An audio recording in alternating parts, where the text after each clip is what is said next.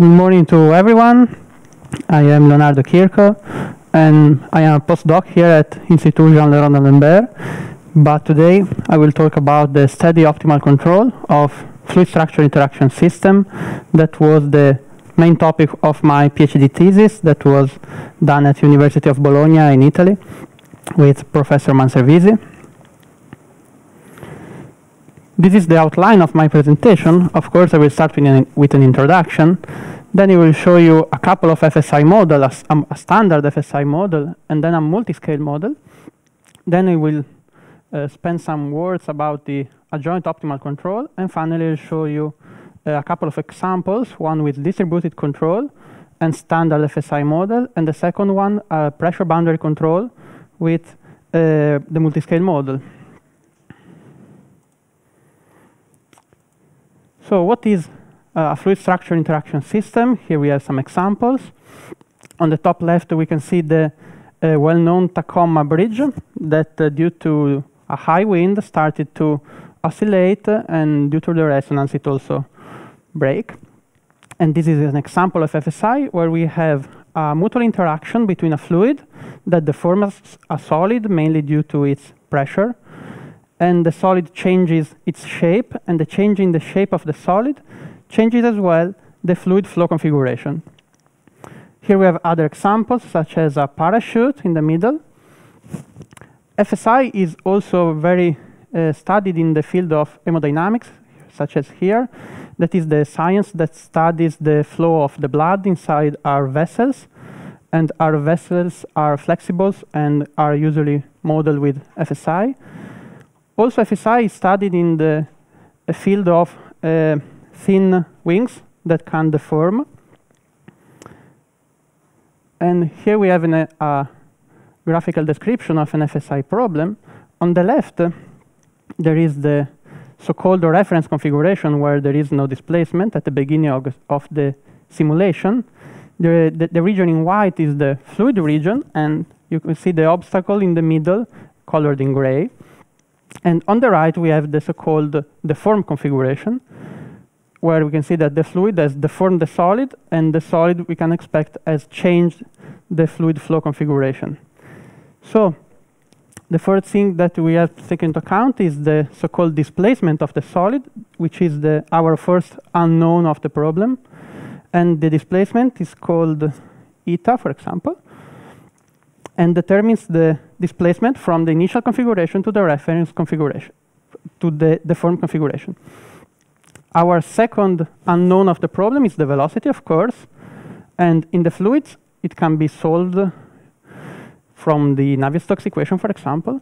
And we also have a velocity of the of the solid, and it is defined as the um, as it the first derivative in time of the displacement, of course. And one aspect I would like to talk is the so-called arbitrary Lagrangian Eulerian method, or ALE. So first start with the uh, standard Eulerian you probably know very well. In a Eulerian approach, the mesh is fixed and the material particles are moving into the mesh. While in a Lagrangian approach, that is the most used approach in uh, solid mechanics, the mesh and the particles move together.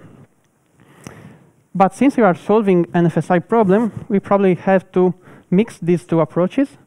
So in the, in the solid, we will use a purely Lagrangian approach. So the, the displacement of coming from the uh, solution of solid mechanics will determine the displacement also of the mesh points. While in the fluid, the, we, we can choose an arbitrary uh, law for moving the points of the mesh, and it is the so-called arbitrary Lagrangian Eulerian. For example, if we, uh, we can take, we can keep the elements of the fluid fixed, and we can recover a purely Eulerian approach, but this would lead to some problems in the mesh. For example, all the displacement would be located around this fluid-solid interface, and we would have uh, a bad aspect ratio for some elements at least. So with this in mind, we have to compute this uh, fluid deformation, deformation, and it is computed here. It can be computed, for example, as the solution of Laplace operator that takes into, as boundary condition, we can say the interface displacement coming from the solution of the solid equations. And then we also have the ALE velocity here that is computed as the time derivative of the fluid displacement. So FSI is an inherently nonlinear problem since our unknowns um, affect the domain, and the do so the domain depends on the unknown. So this is clearly nonlinear.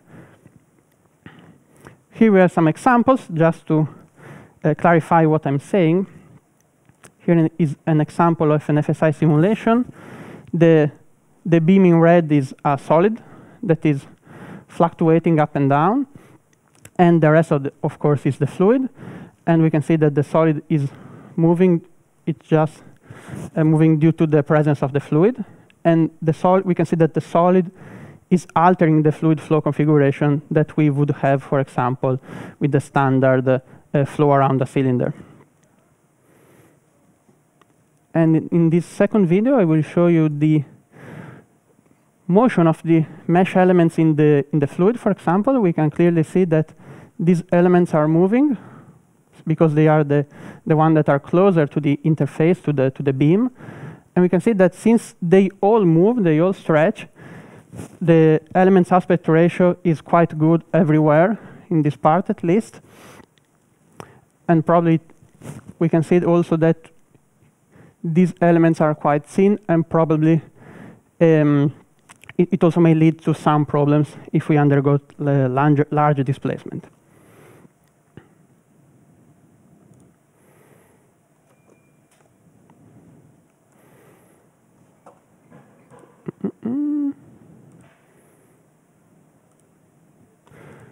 Oh.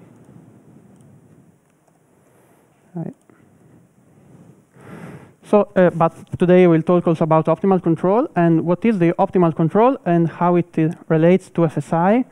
So with control, we mean to change the behavior of a system, of course, and optimal means to do so in the most efficient way. So this is our optimal control uh, for FSI. And what are the key points of our problem? The first one is that, of course, FSI is nonlinear, so we have to uh, solve taking into account that, for example, using a fixed point iteration or other strategies. Moreover, uh, the time-dependent adjoint optimization would be hugely expensive since we would have to solve the adjoint backwards and uh, in time. So we will, I just studied the steady problem. Finally, I will show you the monolithic formulation and compare to the segregated formulation where we have conforming grids at the fluid-solid interface. And what I did in my, in my PhD was implementing the FSI solver and the adjoint solver, and I did that in an in-house finite element code, which is called FEMuS, and is developed at uh, University of Bologna, and you can find that on GitHub. It, uh, it is an open source code. And uh, I also had to implement the gradient-based algorithm. Okay, now we can shift to the some equation. Those are the equations that uh, you have to solve, for example, for the solid. And uh, it's a quite simple equation. Um, I have chosen as a uh, constitutive um, law as that of a Saint Venant Kirchhoff model because it's simple, it is linear here in the in the displacement. And we have that uh, the, the physical properties are determined by the Lamé parameters, and they are linked together by the Poisson ratio, for example. And an interesting case is that of uh, the incompressible solid, which means that uh, the Lamé parameters lambda tends to infinity. And then we have that the divergence of the displacement tends to zero, so we basically the volume is conserved. But as I said, I will show you the steady problem. So the time derivative is zero and will disappear. For the liquid, we have to solve the Navier-Stokes equation, of course, continuity of the velocity, and the momentum equation. Here in the advective term, we have the ALE velocity because we have, we have to consider that, of course. And uh, but we want to solve an FSI couple problem. So we have to take into account the interface condition that we must satisfy at the fluid-solid interface.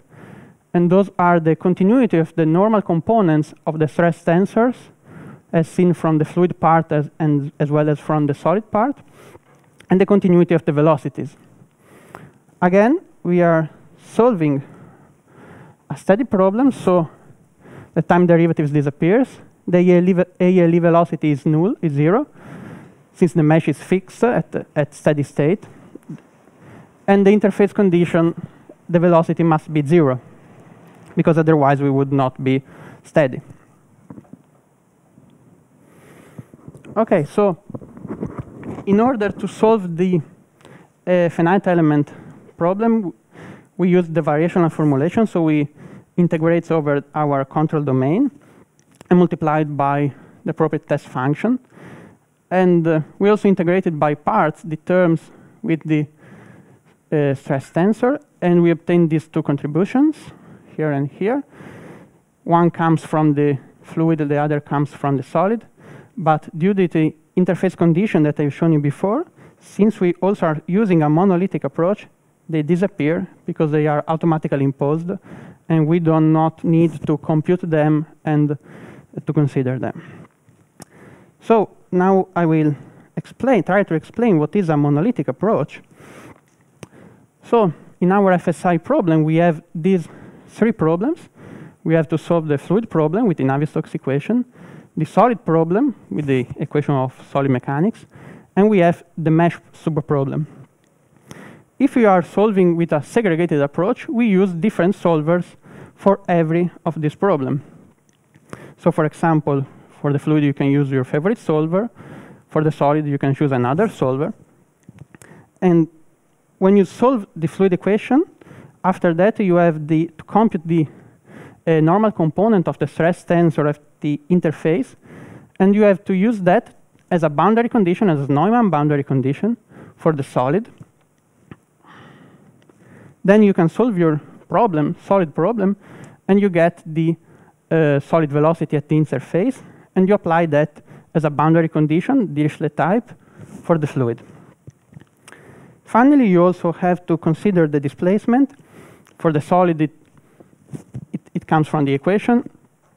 And for the fluid, you have to solve, for example, the Laplace operator. So this is a segregated approach. We are using different solvers. That can be an advantage if you want to reuse available solvers, you don't need to write your own solver. But uh, some drawbacks are that the interface coupling conditions that I've shown you before have to be imposed iteratively. So it also, it, that may lead to some convergence issues. While in, in a monolithic approach, these problems are solved together. You, so you have to write your own FSI code, FSI solver. And, uh, but the, the advantage is that the interface coupling conditions are automatically imposed. Of course, the solver may take some, may, maybe may take some time longer than a um, very optimized code for purely CFD or purely solid mechanics. But you have, in general, some better convergence properties. So once that you have uh, written, for example, your monolithic code, of course, you want to test it against some benchmark. And in FSI, there is this benchmark well known from Turek and Hron. And you, it is the one that I've shown you before, more or less. And there is a, a, a solid obstacle that is attached to a cylinder. And you have to compute some interesting quantities, such as the drag, the, the lift, and the beam tip displacement. You this uh, benchmark also features some purely CFD tests that are called partial computational tests. So you fix a very rigid structure to avoid the, the displacement. You can solve a purely computational mechanics problem where the fluid is neglected and you apply gravity to the solid. And finally, you have to solve the fully coupled FSI problem. Of course, you have a lot of uh, parameters. I will not you show you in details. But uh, the fluid properties are those of the pure CFD test, of course, and the solid properties are those of the pure solid mechanic test. Those are the results that I have obtained. On the top left, there is the fluid velocity, and on the, on the right, the pressure. The displacement is reported here in these tables, and it is very small, a very small displacement. But we can see that by refining the grid, I used a multi-grid approach, the, the, the results tend to converge to the reference values, and also for the drag and for the lift coefficient. So I have validated my code, and uh, I was able to move to the uh, optimal control part. But we also decided to study a multi-scale model because, of course, the uh, FNFSI simulation may take quite, quite a long time. So with this multi-scale model, we basically collapse the solid into a um, into the boundary of the fluid. For example, you can see here that the solid is the region represented in red, and this is the standard FSI approach, while here the solid collapses into this boundary, gamma. So the structure equations now become boundary condition for the fluids, and we just have to uh, write our the, the appropriate boundary condition in our fluid solver. This is a, a good point for using this method. It also has good uh, um, stability dealing with thin structures because we don't have the problems of, for example, intersecting elements because we don't have solid elements. Of course, we also overcome the problem of, of having a conforming grid at the interface because we don't have, again, to mesh the solid. But the positive aspect is that the, the good properties of the monolithic coupling are conserved, so the coupling conditions are automatically imposed and taken into account. Here it is an example. This is a shell, more or less, in three dimension, a cylindrical shell. And we apply a pulsating pressure here that goes up and down. And we can see that when the pressure is higher, the, the tube gets larger, and this pressure wave propagates into the channel.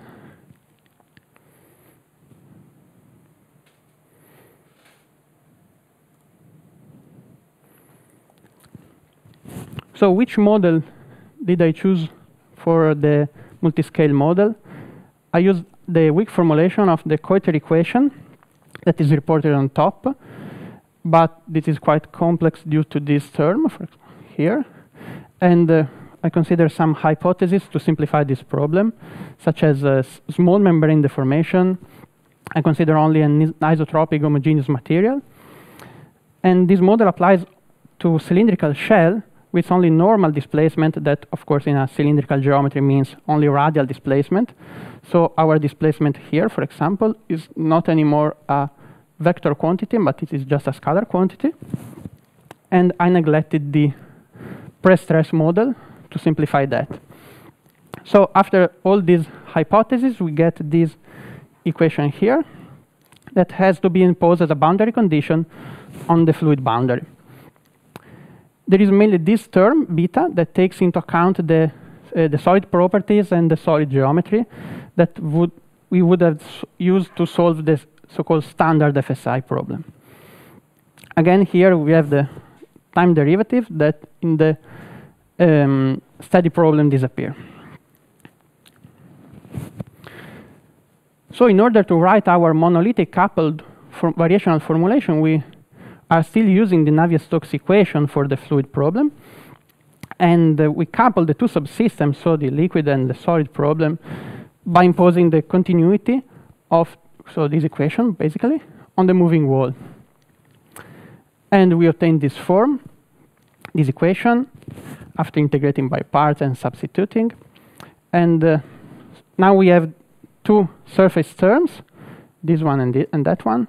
This one is responsible for our motion of the, of the solid, and it is imposed on, on the fluid bound moving wall while this term takes into account, for example, non-homogeneous Neumann boundary conditions.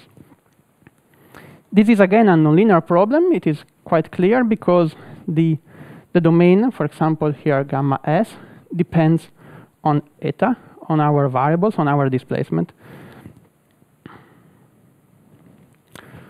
So now I will introduce some principles of adjoint optimal control.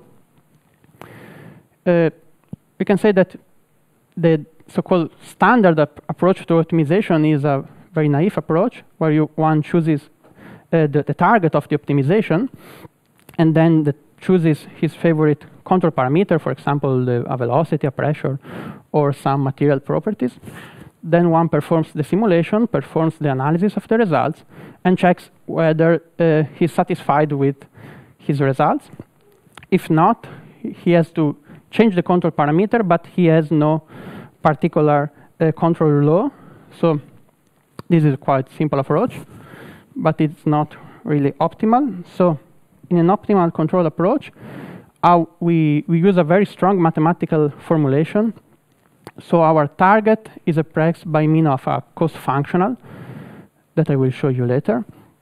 And by minimizing the Lagrangian of the problem, we obtain the so-called optimality system that can be represented here. In the optimality system, we have equations that are responsible for the physics of the problem, the so-called state equation. And the adjoint and the control equation will give information about how to change the parameters in order to uh, reach the target. So this problem has to be solved. At, at the end of this uh, uh, problem, you, you have found your optimal control parameters. So it is Uh, an, an, an, efficient way to solve optimal control problems, but of course the implementation can be quite challenging. So what is the definition of optimal control problem? This is the definition by Gunzburger. And it is an attempt to control the mechanical or thermodynamical state of our fluid or solid in order to achieve the desired purpose. So we have different types of control, in, for example, in FSI. The first one is a distributed control. So basically, you can think of a source term in the equation. And for example, uh, you may think of a thermal source uh, applied into some part of, the, of your system in order to change the temperature in, in your system. It is a very powerful method from the computational point of view, but it is really applicable in practice because you don't have us usually access to inside your domain. Another approach is the boundary control, where you your control parameters acts as, on a, as a boundary condition on the boundary of your system. And you may think of the cold fluid injection to cool down turbine blades, the temperature. This is a weaker approach from the computational point of view, but it is uh, more, uh, more used in uh, industrial applications. And finally, the last type of control is shape control, where you change the domain shape. For example, you may think of uh, the design of airplanes or wind turbine in order to um, increase the lift with uh, the same drag or reduce the drag and so on. This is the least efficient method from the computational point of view, but it is very used, for example, in aerodynamics. And this is how it uh, uh, can be considered in our FSI problem. So we have a, the so-called control region that is this one in yellow That is the region where we want to match our target, satisfy our target. That can be, for example, a velocity or displacement matching problem, or we want to reduce the drag here, for example. And uh, this picture refers to a boundary control, where the, the red line on the left is the so-called control surface, where we can change, for example, the, the fluid pressure, the fluid velocity, or we can also uh, changed our the, the mass flow, and in that case, we would be talking about a, a lamp to control. On the right, there is uh, an image of a distributed control. We have, again, our target region. But now the, the control can act not on a boundary, but inside the domain. For example, here on the solid, uh, for example, using a volumetric force, as I will show you later. Or we can also change the material properties, for example, the Young modulus of the solid. And in that case, we can um, say that it is a parameter estimation problem. So, as I said before, we have to define an objective functional. and this is uh, an objective functional. So we have the first term here in this equation um, that takes into account actually our uh, target. For example, we can have a matching profile. That means that we have our state variable phi, and we want that state variable to be as close as possible to a certain value, phi d, that is chosen by us. Or we may wish to have a zero gradient, and if phi, for example, is a temperature, it means that uh, we want to have zero flux, heat flux. Or we can uh, want to, for example, um, match some kinetic energy value or vorticity or so on. And in that objective functional, we also add this, the last two terms that are used to limit the, the control in order to avoid, uh, for example, distributional control in distributional spaces, such as Dirac functions. And uh, for example, if you consider only the second term here, our control would be in the Sobolev space L2, while considering also this term, our control would be in the Sobolev space H1. And uh, we have these two terms that are so-called the regularization parameters that are used to uh, weight the, the, um, the importance of the uh, regularization against the objective. Of course, if we take higher values of the regularization term, our control would be very less effective. But if we neglect them, we may have problems if our uh, desired value, for example, is not solution of the so-called inverse problem. And of course, if we are solving a boundary or shape control problem, these three uh, integrals that now are computed on uh, the domain have to be computed on surfaces. And so, um, by doing so, the, the optimization problem can be considered a minimization problem. And to solve a minimization problem, we use the Lagrange multiplier method. So you have your objective functional there, and uh, you have to uh, compute the augmented functional or augmented Lagrangian by summing to the uh, cost functional the uh, FSI equation that here rep represents the, the, constraints of the problem and multiply them by the appropriate Lagrange multipliers that in this context are also called adjoint variables. And by doing so, what we have obtained is that we are starting from an unconstrained minimization problem, from a constrained minimization problem, and now we have an unconstrained one, because the constraints have been taken into account in the augmented functional.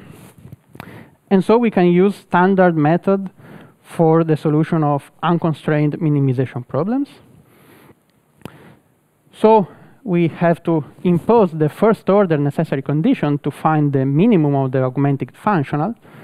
And we compute the derivatives. Uh, when we compute the derivatives with respect to the state variables phi, we obtain the adjoint system when we take the derivatives when, with respect to the uh, adjoint equation, we obtain the state system again. And finally, when we derive with respect to the control, we obtain the control equation. So this method is quite powerful to achieve the minimization, in particular because it is quite straightforward to obtain the optimality system that will be composed of the adjoint system, state system, and control equation. However, it may lead to an high computational cost, and in particular, this method is used to find only local minimums. So don't expect to find the global minimum of the problem, but just some local minimum. So it means that the, the optimal solution that you are going to find depends both on the history of your uh, algorithm, for example, and on the starting point on the initial value of your control parameter so in order to solve this problem, I used a gradient-based algorithm. It is a, the simplest one, a steep descent method. So you, you, at the beginning, you have to choose an initial value for your control parameter. With that, you can solve your FSI problem and compute an initial functional. Then you have to solve the adjoint equation that tells you how you have to update your control parameter, for example, here a force, but can be a velocity or pressure. And with that updated control, you have to solve again the FSI system and compute the objective function. Then you have three possibilities, basically. The first one is that your new functional is lower than the previous one, and then you are satisfied, you are moving toward the minimum, and you have to take this way.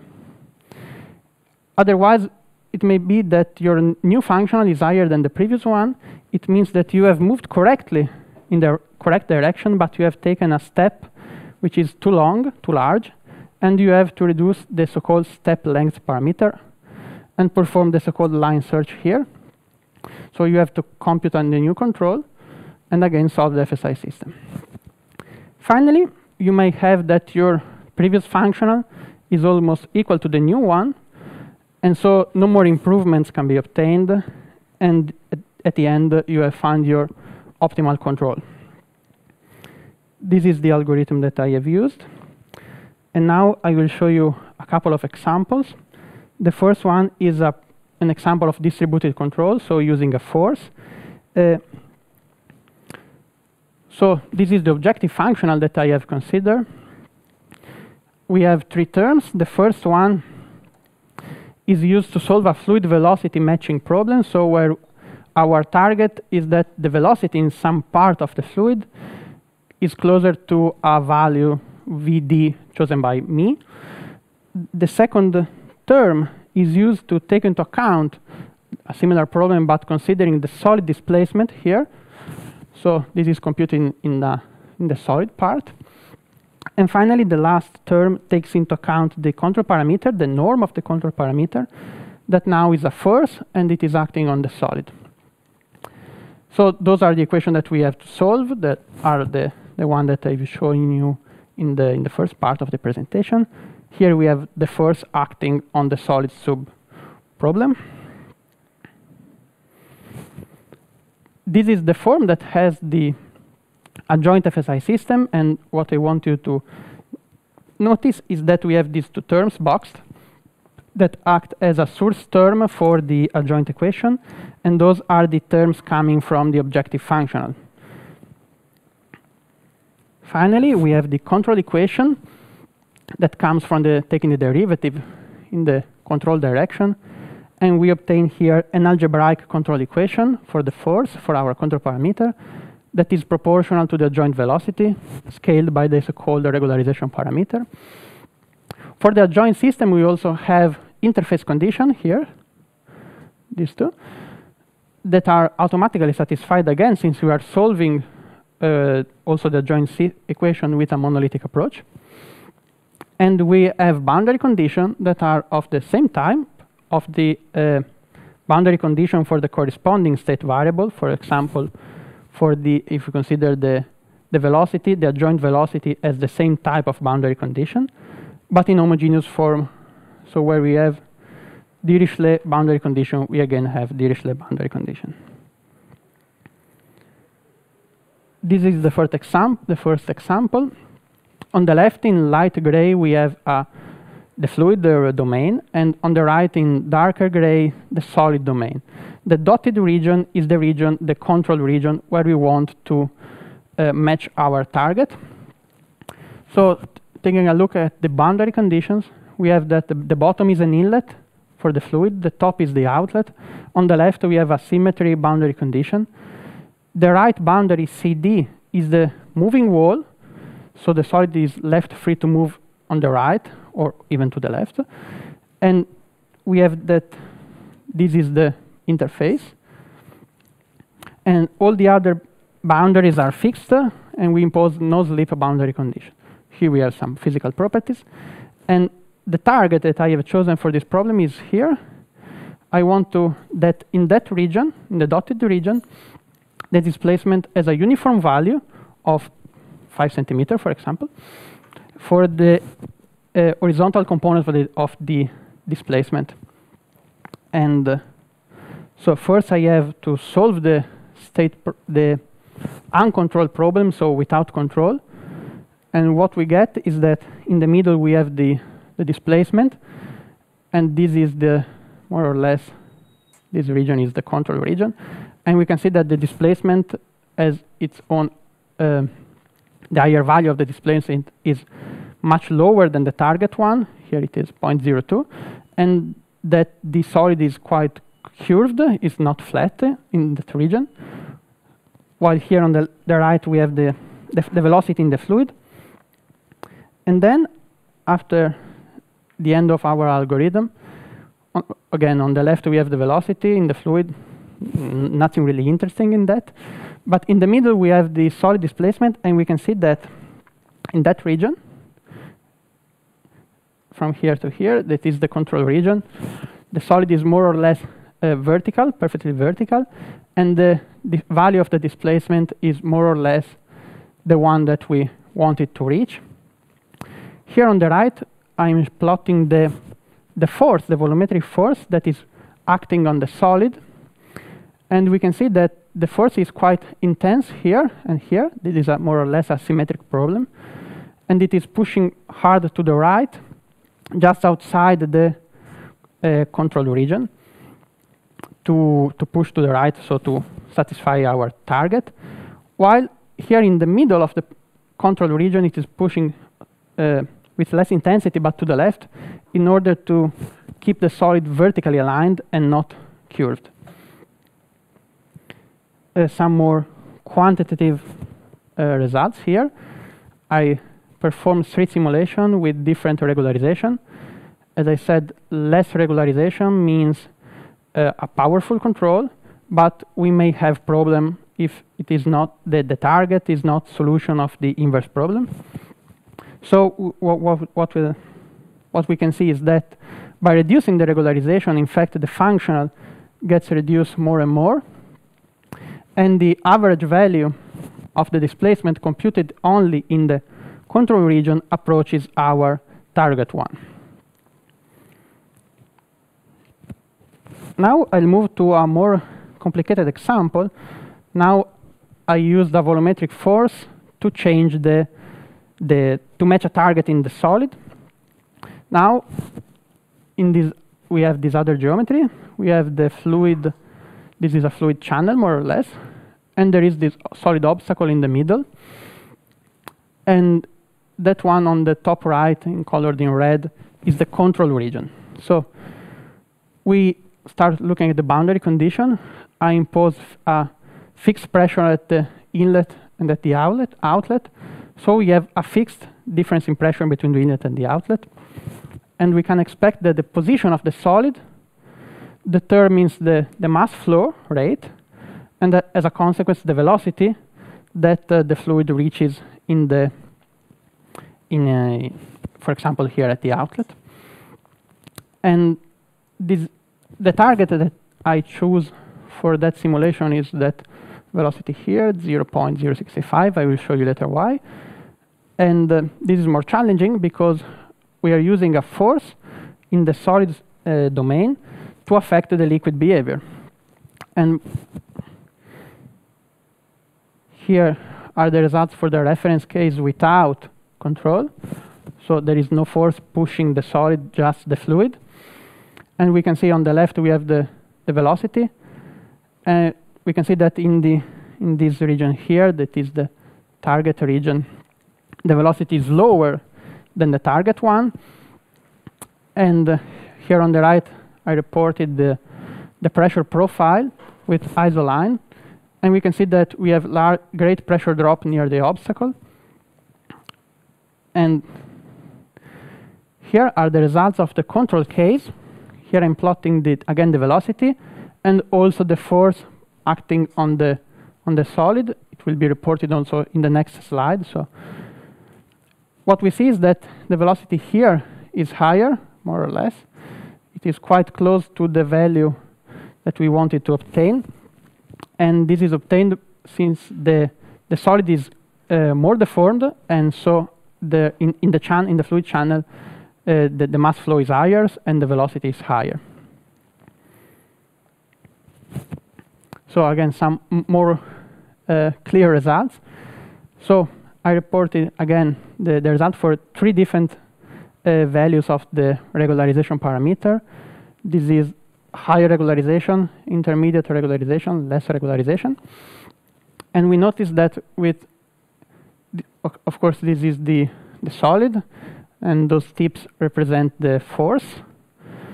With a very high regulariz very high regularization, the force is, cannot act because it's limited by our algorithm. And while here the, the force is pushing very hard the solid to the right, and in particular, the most intense uh, force is acting here near the tip because it's the part of the solid where the force can act most effective. And here on the left, we have two plots of the velocity near uh, on a horizontal line and on a vertical line passing through the control region for these three cases. And we notice that the velocity, for example, here, is very close to our target of 0.65. OK, so now I will show some other results of a pressure boundary control. So now the control will act on the boundary as, a, as the pressure. And so we have another objective function with two terms. The first one here is used to solve the, again, a solid displacement matching problem. The, the main difference between this case and the previous one is that here the, this integral is computed on the uh, so on the boundary of the fluid that represents the solid. And the second term here is the regularization term that limits the control. Now the control is the pressure that is acting on the fluid inlet, for example. And uh, it is imposed, of course, as a boundary condition for the fluid subproblem. Here we have the adjoint equation in the, in the domain. We don't have the source term because the source term for the adjoint now are imposed have to be imposed as a boundary condition here. This term comes from the um, objective functional and has to be imposed on the solid moving wall. Again, we obtain an algebraic control equation because we are solving for the pressure as a control. If we had used velocity, we would have obtained a, um, differential, differential equation. And again, we have um, the boundary condition for the adjoint. this is the, the test that I will show you today. This is our geometry on the left. So this is the, the left boundary AD is the control surface where we impose our control pressure. We have that the right boundary is the one that we consider as the solid, and it is able to move, for example, to the right. And the other boundary, so the bottom and the top are fixed, and we impose no slip boundary condition. So this is the result for our uh, reference case with no control, and we note we notice that uh, uh, it is more or less a symmetric configuration. Uh, this is the symmetry axis. And uh, of course, the velocity field is more or less zero since the fluid cannot uh, go anywhere at the at steady state. And uh, we have, so in order to break this symmetric configuration, we want to solve a complex uh, target where we consider these two points here, one and two. And the objective for the first point is minus 0.01, meaning that we want to, that this point goes to the left of this reference configuration, and the bottom point goes to the right. For example, this goes here, and this one goes here. And those, this is uh, our result. Here I'm showing the, the velocity, and there I'm showing the pressure on that boundary, so the control pressure.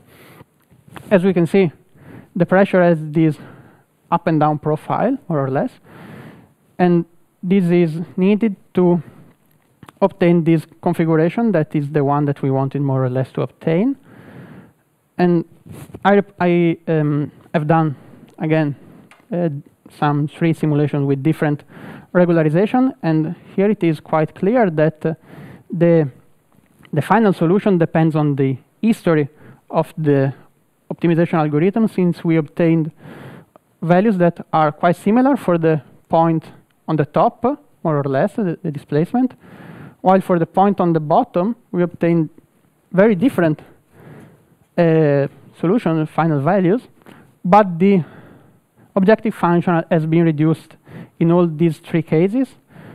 So this is a peculiarity of the of this kind of algorithm. So I just want to draw some conclusion. So what I show you today is the use of a standard monolithic FSI solver, and then how to uh, use a Koiter shell model to reduce the computational effort.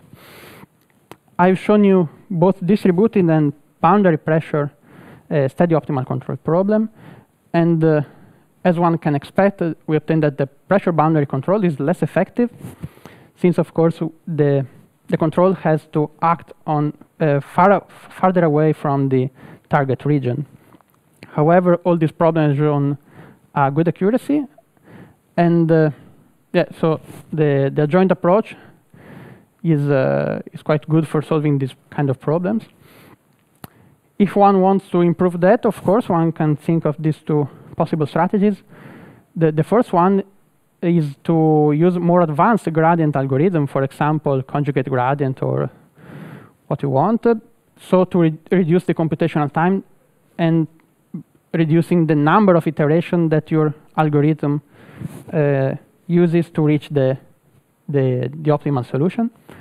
And another approach could be, instead of using uh, um, gradient algorithms, solving all the optimality system in the so-called one-shot approach. So all in a single problem, single matrix, for example. And uh, to reduce, however, this would require quite a lot of computational time. But we if we want to reduce, we can use, for example, Vanka type smoother. So solving patch, small patches of this problem. And of course, using multi-grid solver would certainly help. And that's all for me.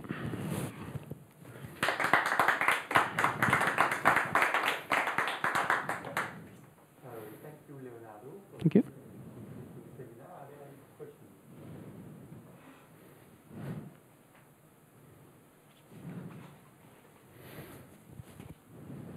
You've said multiple times that the uh, initial conditions really influence the solutions. Could you comment a bit on that? Okay, so here um, these results do not really show that the um, initial value of your control parameter changed changes the uh, final solution because I use the same control, the initial condition for all the, the cases. But uh, yeah, I don't have any result here to show, but yeah, this is the case because um, this is a peculiarity of the adjoint algorithm with a gradient-based uh, algorithm that uh, marches towards the local minimum. Because, for example, if you have a one, it, it is quite simple in 1D to imagine you may think you may have a big hole and another small hole. And uh, when you are in close to the small hole, the gradient is, uh, is uh, directed towards the, that local minimum. And once you are in that region, you can't go away from, from there. And th that's more or less the same for more complicated problems, but yeah, I, I don't have results showing that here.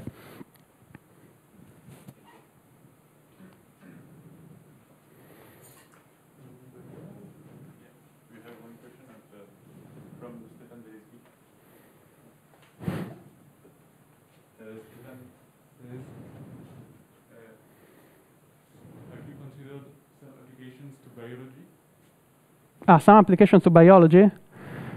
Okay, no. Uh, this is just uh, some uh, general possible applications. I haven't focused on a particular application on a particular field, but yes, of course, this can be uh, applied to at the beginning to, for example, uh, vessels and to, for example, uh, have some to, to limit the, the displacement, for example, near some bypass, uh, and th- th- it is it is used. Uh, there, there is some literature about that, for example, from Quarteroni. Yeah.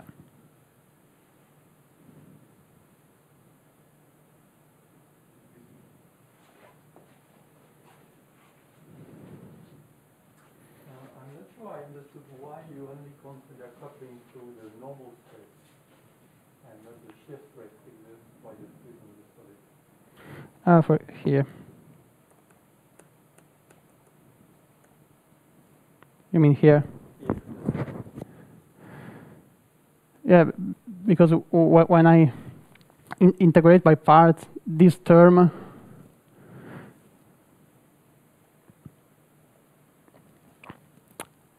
I obtain, of course, the volumetric term here and here, and these two surface terms that, uh, so the interface condition, the, you, you can find them in literature. Um.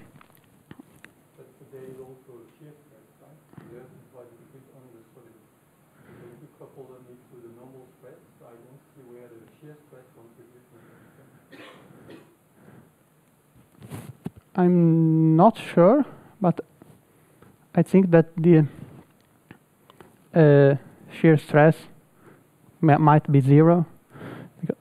Otherwise, we would have some slip. I'm not sure about that. Maybe I can check that. But, you know, you, the, here the solid exists, and if you, uh, if you apply a Dirichlet condition, right, you create another layer, so you have a shear stress on exerted by the uh, solid on the fluid, which creates this other layer, right, and it goes with the Dirichlet condition for the fluid. So, so you must have, uh, in return, a stress exerted on the solid side of the fluid. right? So I'm a bit surprised not to see it in the coupling with the solid. Maybe I misunderstood. Th- thank you. Thank you very much. Any other questions? Yeah, so, um, well, thank you, very interesting. Um, I didn't understand the application where you have a force as a control parameter. So how is the force applied? Maybe I missed something. Uh, I've shown two So cases. You have a force in the solid or you have a velocity that induces a force in the solid? No, here, for example, this test, uh, The, the one that was like changing, this one. yeah. This test, the force is acting on the solid. It is it's a, it's a force that is given by the velocity or is a force that you impose as a control? this is a force that I impose as a control, It's in the solid. Yeah, only in the solid. And then another one, um, yeah. Um, another question, uh, um, so you talked about how gradient-based uh, algorithms are, are affected by the initial condition. So the one you showed us are the best initial condition you've tested? No, of course, uh, those are just some initial condition that worked. Of course, you may have mm, an infinite number of initial boundary uh, initial conditions. So uh, this is just uh, um, some choice to see that the algorithm works and works well. And another one, did you consider um, comparing these um, test cases, uh, doing optimization in a derivative-free way, so to be sure that your minimum is actually the global one and not and not a local one?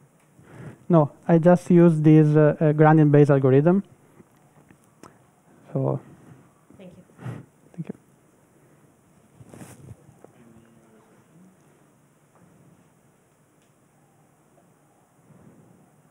Thank you again. Thank you. Thank you.